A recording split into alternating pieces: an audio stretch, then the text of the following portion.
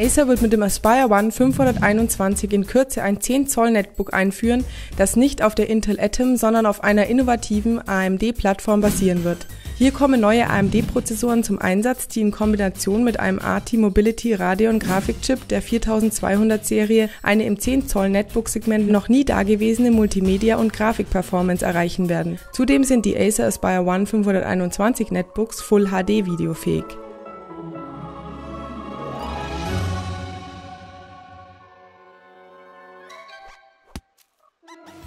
Bestandteil des neuen Acer Design Konzepts ist es, mit einem Minimum an Beschriftungen und Aufklebern auszukommen, wodurch die ganze Schönheit des Netbooks zur Geltung kommt.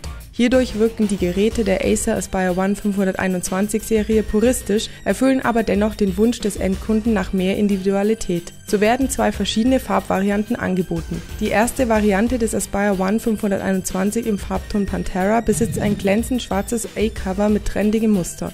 Die Variante im Farbton Tigris kombiniert eben dieses Muster mit einer edlen Platin-Bronze-Metallic-Lackierung